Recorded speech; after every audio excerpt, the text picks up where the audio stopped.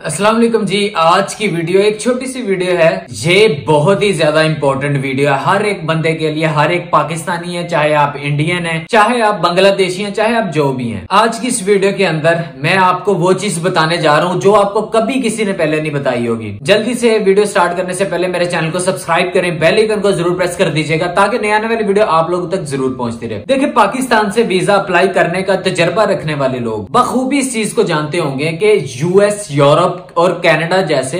बाकी तरक्की याफ्ता ममालिक का वीज़ा अप्लाई करने पर इन ममालिक की अम्बेसिस मुख्तलिफ़ रीजन और ऑब्जेक्शन लगाकर वीज़ा एप्लीकेशन को ही रिजेक्ट कर देते। समटाइम तो ऐसा होता है कि बगैर कोई रीजन बताए ही वीज़ा एप्लीकेशन रिजेक्ट कर दी जाती है। इसके बाद आपके पास जस्ट एक चॉइस रह जाती है एजेंट्स की, जो कि लाखों रुपए लेकर मुख्तलिफ़ ममालिक का विज़िट वीज़ा अप्लाई करवाते हैं। ये डॉक्यूमेंट आप खुद भी तैयार कर सकते हैं, मगर एजेंट के थ्रू वक्त जाया होने के साथ रकम डूबने का भी खतरा मौजूद रहता है। हम एजेंट्स के ज़रिए वीज़ा अप्लाई करने और डंकी वगैरह की हौसला शिकनी करते हैं। क्योंकि इस हवाले से पाकिस्तानियों के काफ़ी तलख तजर्बात है। हाँ अगर आप खुद वीज़ा अप्लाई करें तो हमें एम्बेसी को वीज़ा फ़ीस ही अदा करनी पड़ती है, मगर इसमें एम्बेसी की स्वाबदीद है कि वो आपको वीज़ा दे या आपकी एप्लीकेशन को रिजेक्ट कर दे। कई पाकिस्तानियों को वीज़ा मिल भी जाता है, जबकि वीज़ा रिजेक्ट होने की रेशो ज़्यादा देखने को मिलती है। ज़्यादातर ऐसा होता है कि रिजेक्ट हो जाता है, वो बंदे की अपनी गलतियों से होता है। वो जैसा कि आप बैंक स्टेटमेंट में बहुत सारी गलतियाँ करते हैं लोग। उसके अलावा कुछ डॉक्यूमेंट्स में होती है, कुछ वीज़ा एप्लीकेशन फॉर्म में होती है। तो इन चीज़ों में बहुत सारी गलतियाँ करते हैं लोग। समटाइम तो ऐसा होता है कि लोग नीचे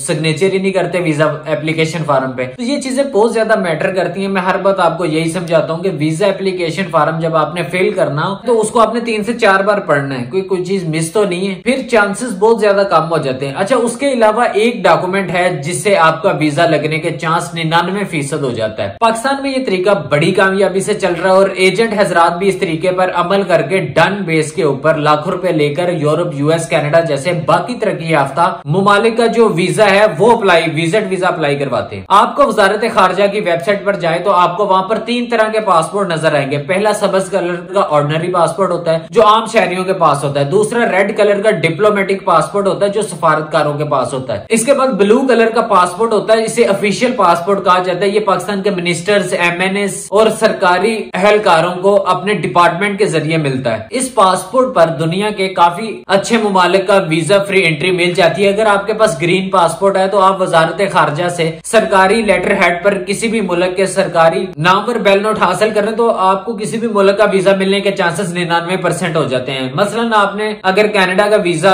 अप्लाई करना है तो आप वजारत खारजा तक अप्रोच करेंगे। और वजारत खारजा सरकारी लेटर हेड पर आपका नाम पासपोर्ट नंबर और विज़िट वीज़ा लेने के मकसद दर्ज करके कनाडा एम्बेसी को रिक्वेस्ट की जाती है कि इस शख्स को वीज़ा जारी किया जाए। मिनिस्ट्री ऑफ़ फॉरेन अफेयर के प्रोटोकॉल ऑफिसर्स ये नोट वर्बल लेटर जारी करते हैं जो आपको कनाडा का विज़िट वीज़ा मिल जाता है। जिन एनजीओ और बाकी इदारों की वजारत खारजा तक अप्रोच होती है, वो इसे हासिल करने में कामयाब रहते हैं। और इस तरह इनको इस मुल्क का वीज़ा मिल जाता है। इसी तरह काफ़ी एजेंट्स भी वजारत खारजा तक अप्रोच करके ये लेटर हासिल कर लेते हैं। आप सब जानते ही हैं कि पाकिस्तान के सरकारी इदारों तक कैसे अप्रोच की जा सकती है। अगर आप भी वजारत खारजा पाकिस्तान तक ये अप्रोच रखते हैं तो आप लोग इस तरीकाकार को अपना कर आप जो है वो वर्बल नोट लेटर हासिल करके यूरोप यूएस कैनेडा और बाकी तरक्की याफ्ता ममालक में दुनिया के किसी भी मुल्क का विज़िट वीज़ा हासिल कर सकते हैं, जिसके लिए आपको कोई ज़्यादा रिक्वायरमेंट्स भी पूरा नहीं करना पड़ती। हाँ अगर आप अपने तौर पर इस लेटर के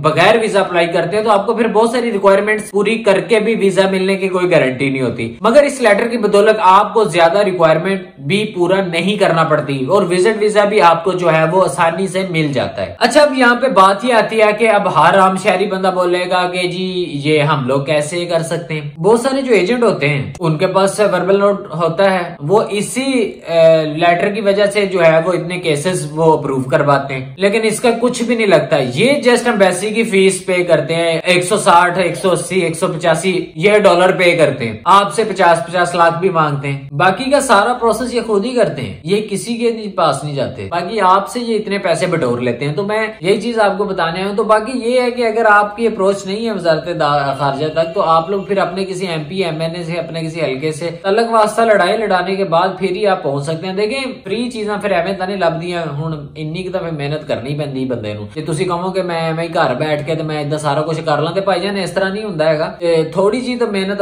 ਤੁਹਾਨੂੰ ਕਰਨੀ ਪੈਣੀ ਹੈ ਭਾਈਜਾਨ ਮੈਂ ਥੋੜੇ ਜਿਹੇ ਉੱਤੇ ਥੱਲੇ ਪੈਸੇ ਲਾਉਣੇ ਪੈਣੇ ਚਲੋ, ਅਗਰ 2-4 ਲੱਖ ਲਾ ਕੇ ਤੁਹਾਨੂੰ ਇਹ ਚੀਜ਼ ਮਿਲਦੀ ਹੈ ਤੇ ਕੋਈ ਘਾਟੇ ਦਾ ਸੌਦਾ ਤਾਂ ਨਹੀਂ ਹੈ ਮੇਰੇ ਖਿਆਲ ਦੇ ਵਿੱਚ। ਇਹਦੀ ਬੇਸ ਦੇ ਉੱਤੇ ਤੁਸੀਂ ਇੱਕ करवा सकते हैं तो बाकी इनशाला ऐसी इन्फॉर्मेटिव वीडियो मैं आप लोग के लिए लेके आता रहूँगा वीडियो अच्छी लगी तो चैनल को सब्सक्राइब करें बेल को ज़रूर प्रेस कर दीजिएगा इंशाल्लाह मिलते हैं अगली वीडियो में तब तक के लिए पीजा